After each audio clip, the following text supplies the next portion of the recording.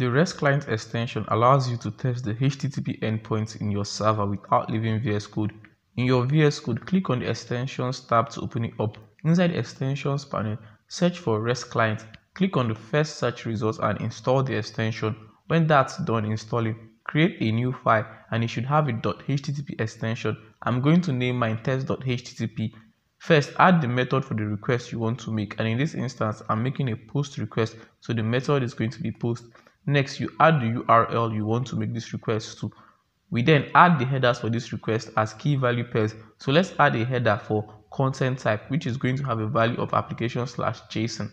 Next, we add the body of our request as JSON.